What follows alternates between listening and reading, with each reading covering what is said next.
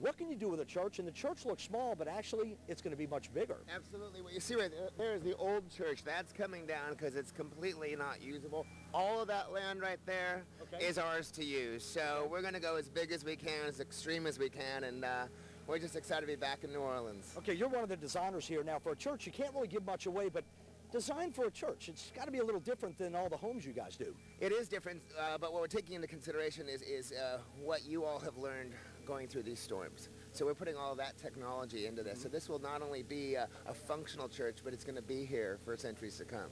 Now, Westwego, here to Central City, you guys are spreading yourself thin. Can you do it all?